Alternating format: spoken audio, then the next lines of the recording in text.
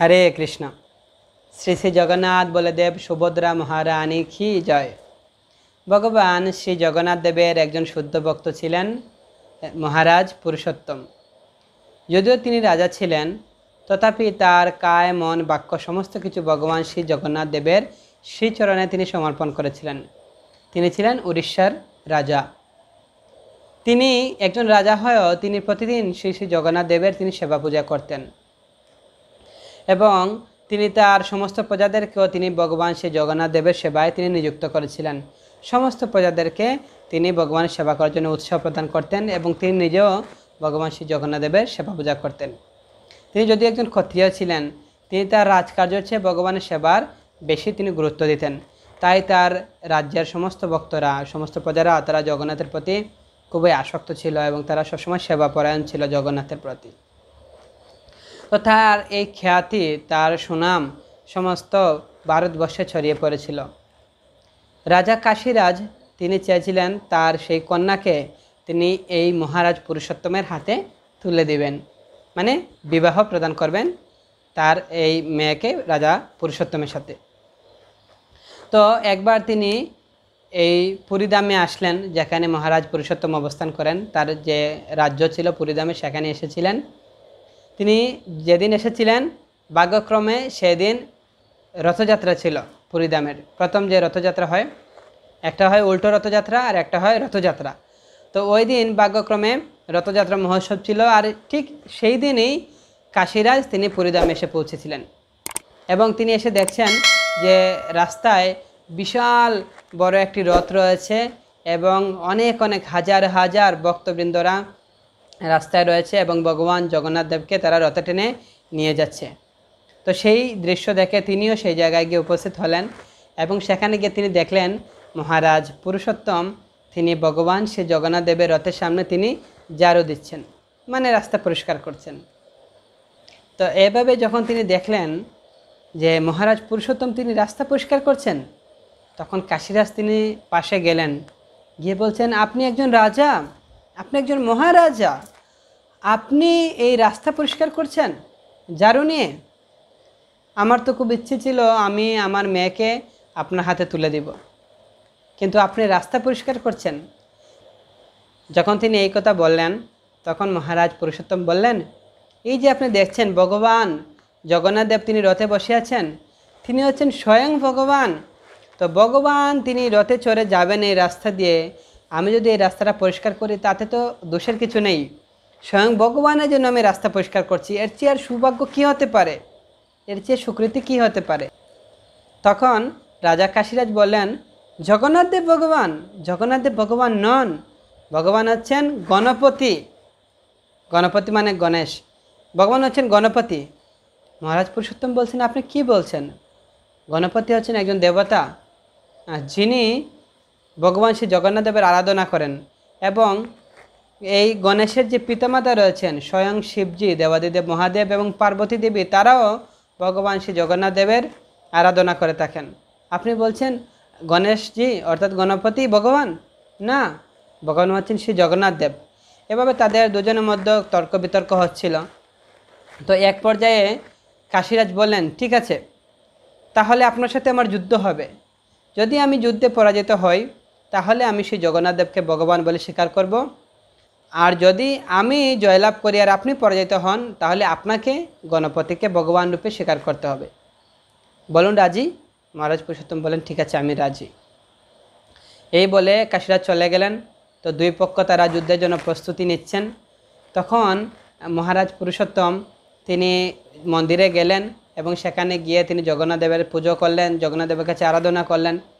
এবং তিনি জগন্নাথ দেবের কাছে প্রার্থনা করলেন, হে জগতের নাথ, জগন্নাথ, হে সর্বপালক, যদি আপনি চান, তাহলে আমরা এই যুদ্ধে জয়লাভ করতে পারি এবং আপনি আপনার ভক্তদেরকে রক্ষা করবেন এবং আপনি যে ভগবান, সেটা সবার সামনে প্রমাণ করে দিবেন। যদি আপনি চান, তাহলে অবশ্যই আমরা যেন যুদ্ধে জয়লাভ করি। এই বলে তিনি কি করলেন? তিনি সেখান থেকে মন্দিরে তিনি সেবা পূজা করতে শুরু করলেন এবং তিনি চিন্তা করছিলেন যে কীভাবে আমরা জয়লাভ করব, কারণ তার রাজ্যের যে সৈনিকরা ছিল, সবাই জগন্নাথের সেবায় ব্যস্ত ছিল। তাদের ঠিক সেই রকম প্রশিক্ষণ নেই এবং যে অস্ত্রশস্ত্র ছিল সেগুলো প্রায় জং ধরে গিয়েছে। এই অস্ত্রশস্ত্র, এই সৈনিক নিয়ে কীভাবে জয় লাভ করা যায়? তো ভগবান আছেন, তিনি বক্তবৎসল তিনি বক্তের হৃদয়ের সমস্ত কথা তিনি জানেন। তাই তিনি কি করছিলেন?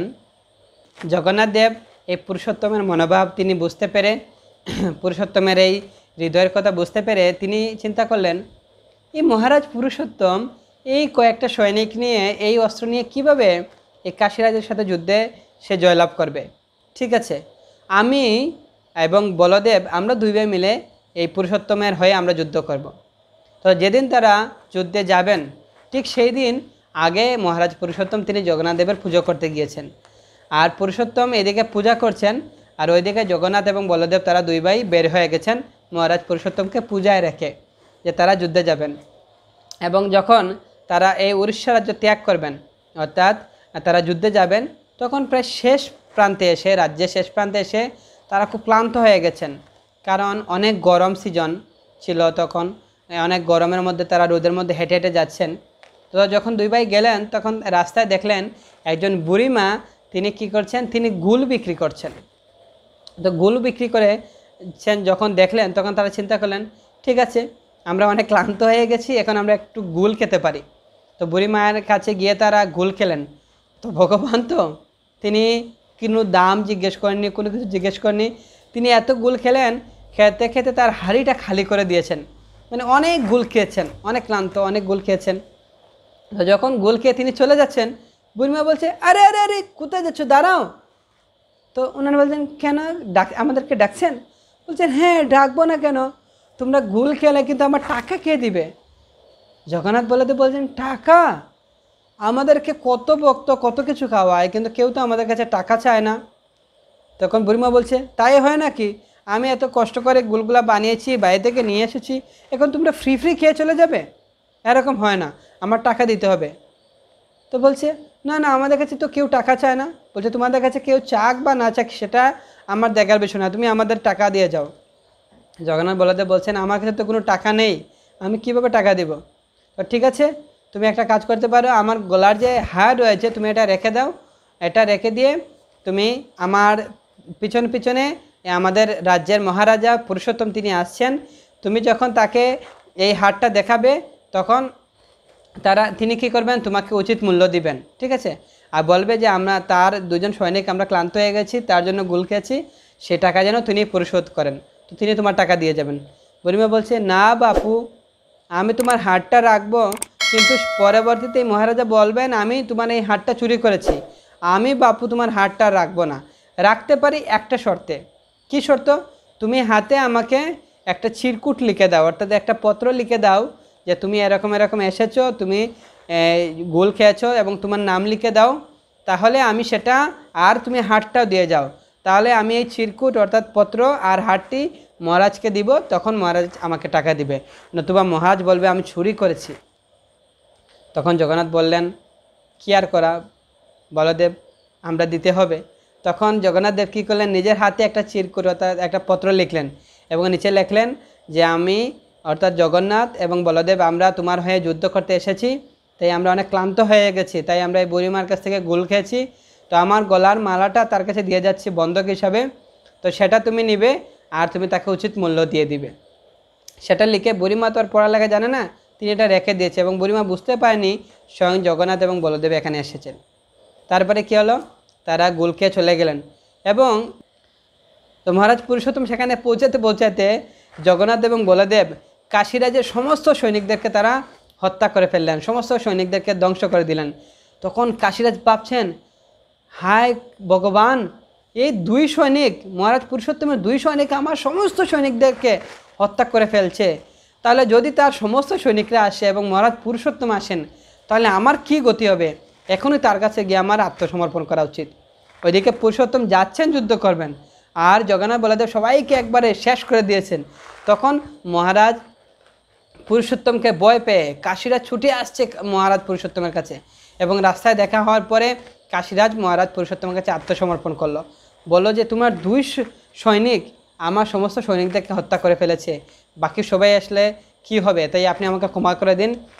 জগন্নাথই হচ্ছেন ভগবান, সেটা আমি স্বীকার করছি। তখন যখন এই কথা বললেন, তখন ওই বুড়িমার সাথে আবার দেখা হলো। যখন বুড়িমার সাথে দেখা হলো, তখন বলছেন, মহারাজ আমার একটা আর্জি আছে। পুরুষোত্তম মহারাজ বললেন কি আর্জি আছে? বললেন যে আপনার দুই সৈনিক আমার কাছে এসেছিলেন এবং আমার কাছে এই চিঠিটা লিখেছিলেন এবং এই একটা হার দিয়ে গেছেন, তারা অনেক গুল খেয়েছেন এবং বলছেন আমি এটা আপনার কাছে দিলে আপনি আমাকে উচিত মূল্য দিবেন। তখন এই মহারাজ পুরুষোত্তম, তিনি বুড়িমার কথায়, আবার ওইদিকে কাশিরাজের কথায় তিনি অবাক হয়ে গেলেন, আমি তো এখনও যুদ্ধেই যাইনি, আর আমার কে এমন এত শক্তিশালী সৈনিক আছে? আর আমার এত দুইজন এত শক্তিশালী সৈনিক কোথা থেকে আসলো? বা কে তারা? তারা সমস্ত সৈনিকদেরকে হত্যা করে ফেলল কাশিরাজের। আবার এই বুড়িমার কাছে এসে ঘুল খেলো। আমার সমস্ত সৈনিক তো আমার পিছনেই আছে। তো মহারাজ পুরুষোত্তম তিনি অবাক হয়ে গেলেন। তারপরে তিনি বললেন, ঠিক আছে ছিঁড়িটা দিন তো আমার হাতে, আমি দেখি। আর হারটা হারটা যখন তিনি হাতে নিলেন, দেখছেন এটা তো জগন্নাথের হার। বুড়িমার কাছে কীভাবে আসলো? তিনি খুব তাড়াহুড়া করে চিঠিটা পড়লেন। এখানে লেখা আছে যে আমি জগন্নাথ এবং বলদেব, আমরা তোমার হয়ে যুদ্ধ করতে এসেছি। তো আমরা চিন্তা করেছি, তোমার এই সৈনিক নিয়ে কাশিরাজের সৈনিকদের সাথে মানে পাল্লা দিতে পারবে না, জয়লাভ করতে পারবে না। তাই আমরা তোমার হয়ে যুদ্ধে যাচ্ছি। তো আমরা অনেক রাস্তা অতিক্রম করে এসেছি, তাই ক্লান্ত হয়ে গেছি। তাই এখানে বুড়িমার কাছে এসে গুলকেছি তো তুমি এই ছি- চিরকুট এবং হারটা তুমি যখন পাবে, তখন তার এই গুলের যে মূল্য রয়েছে, সেটা তুমি পরিশোধ করবে। আর আমরা তোমার এই যুদ্ধে জয়লাভ করিয়ে দিব আমরা দুই ভাই যথেষ্ট। সমস্ত কাশিরাজের সৈনিকদেরকে আমরা হত্যা করে আসব। এটা দেখে সাথে সাথে মহারাজ পুরুষোত্তম এই বুড়িমার চরণে তিনি পতিত হয়ে তাকে প্রণাম করলেন। বলেন হে বুড়িমা, আপনি এত ভাগ্যবান। স্বয়ং ভগবান জগন্নাথ দেব এবং বলদেব আপনার কাছে এসেছেন আর আপনি নিজের হাতে তাদেরকে গুল খাইয়েছেন। আর এই হারটি আপনাকে দিয়েছেন এবং তাকে দর্শন করেছেন। এমন ভাগ্য তো আমারও হয়নি। আপনি কত ভাগ্যবান। তখন মহারাজ পুরুষোত্তম, তিনি ভগবানের কাছে তিনি অনেক কৃতজ্ঞতা প্রকাশ করলেন, হে ভগবান, আপনি কত দয়ালু। আপনি হচ্ছেন ভক্ত বৎসল, পতিত পাবন। আমার মতো পতিদে, পতিতকে আপনি কত করুণা করেছেন? একথা বলে তিনি জগন্নাথ জগন্নাথের কাছে কৃতজ্ঞতা জানালেন এবং কাশিরাজ তিনি কী করলেন? মহারাজ পুরুষোত্তমের কাছে আত্মসমর্পণ করলেন এবং তারপরে তিনি তার যে কন্যা ছিল, পদ্মাবতী সেই পদ্মাবতীকে তিনি কী করলেন? এই মহারাজ পুরুষোত্তমের কাছে তিনি অর্পণ করলেন। কারণ তখনকার একটা নিয়ম ছিল, যদি কোনো রাজা, সে অন্য কোনো রাজ্য সে দখল করে বা অন্য কোনো রাজ্যের সাথে যুদ্ধ করে, জয়লাভ করে, তাহলে তাদের যে মানে কন্যা ছিল, সে কন্যাকে সেই রাজার হাতে তুলে দেওয়া হতো। তো যেহেতু মহারাজ পুরুষোত্তম তিনি জয়লাভ করেছিলেন, তাই তিনি কী করেছিলেন, এই কাশিরাজ তিনি তার কন্যাকে মহারাজ পুরুষোত্তম হাতে তুলে দিয়েছিলেন। কিন্তু তখন মহারাজ পুরুষোত্তম, তিনি বললেন, না, আমি এই কন্যাকে বিয়ে করব না। তখন তিনি কী করলেন, তার মন্ত্রীকে বললেন যে, তুমি কোনো জারুদার দেখে তাকে বিয়ে দিয়ে দিও। কারণটা হচ্ছে, এর আগে যখন রথযাত্রায় কাশিরাজ এসে পুরুষোত্তমকে দেখেছিলেন, তখন তিনি বলছিলেন যে, আপনি তো জারুদার, আপনি ঝাড়ু দিচ্ছেন রাস্তায়।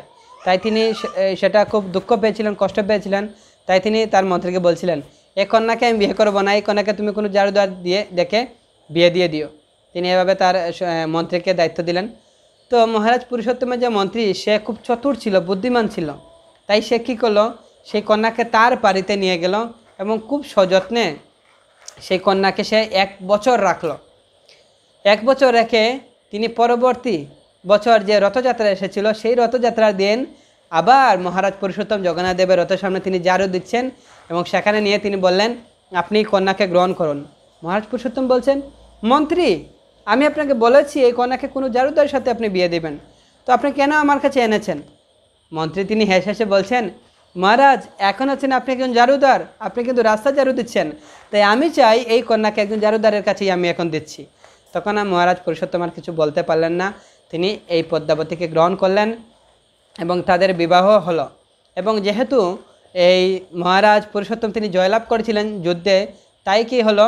পুরীধামে জগন্নাথ যে মন্দিরে আছেন, সেই মন্দিরে তিনি অবস্থান করলেন এবং এই গণপতি, অর্থাৎ গণেশের মন্দির, ঠিক পুরীধামের যে জগন্নাথ মন্দির আছে, তার ঠিক পিছনে সেই গণপতির মন্দির করা হলো। কারণ তাদের আগে কন্ডিশন ছিল যে কে যুদ্ধে জিতবে, যে জিতবে সে হচ্ছে ভগবান। যেহেতু ভগবান, জগন্নাথ দেব তিনি প্রমাণ হয়েছেন, তাই ভগবানের মন্দিরটার সামনে থাকবে এবং গণপতি তিনি হচ্ছেন দেবতা, তার মন্দির পিছনে থাকবে। তাই আপনারা যখন পুরীধামে যাবেন এখনও দেখবেন পুরীধামে জগন্নাথ দেবের মন্দিরের পিছনে গণপতির মন্দির রয়েছে। সেখানে সেই মন্দিরটি স্থাপিত হয়েছিল। এবং এদিকে পদ্মাবতীর সাথে মহারাজ পুরুষোত্তমের বিবাহ হলো এবং ভগবানের এই শুদ্ধ ভক্ত মহারাজ পুরুষোত্তম এবং পদ্মাবতীর গৃহে ভগবানের আরেকজন শুদ্ধ ভক্তের আবির্ভাব হয়েছিল। তিনি ছিলেন মহারাজ প্রতাপরুদ্র। যিনি ছিলেন ভগবান চৈতন্যদেবের কলিযুগ পাবন অবতারী শ্রীকৃষ্ণ চৈতন্য মহাপ্রভুর একজন অন্তরঙ্গ পার্ষদ মহারাজ প্রতাপরুদ্র যার বিভিন্ন লীলা মহিমা ভগবানের সাথে কাটানো অন্তরঙ্গ মুহূর্ত সমস্ত কিছু শ্রী চৈতন্য চৈতামিতে বর্ণনা করা আছে। এভাবে ভগবান তার ভক্তদেরকে তিনি সবসময় রক্ষা করেন এবং তিনি হচ্ছেন পতিত পাবন জগতের নাথ জগন্নাথ, অত্যন্ত করুণাময়। তাই আমরা জগন্নাথ দেবের কাছে প্রার্থনা করতে পারি এই রথযাত্রা উপলক্ষে, স্নানযাত্রা উপলক্ষে যে, হে পতিত পাবন হে জগতের নাথ, আপনি করুণা করুন, করুণা করে আপনি আমাকে আপনার চরণে টাই দিন এবং যেন আমি আপনার ভক্তি করতে পারি, আপনাকে ভালোবাসতে পারি, আমি যেন আপনার সেবায় যুক্ত থাকতে পারি। এভাবে আমরা এই রথযাত্রা উপলক্ষে ভগবানের কাছে প্রার্থনা করতে পারি এবং সেই মনোভাব নিয়েই আমরা জগন্নাথের সেবায় যুক্ত থাকতে পারি। সবাইকে অসংখ্য ধন্যবাদ। কৃপাপূর্বক আপনারা আমাদের এই গুরু কৃষ্ণ কৃপা ইউটিউব চ্যানেলে সাবস্ক্রাইব করবেন এবং আমাদের সঙ্গেই থাকবেন। হরে কৃষ্ণ।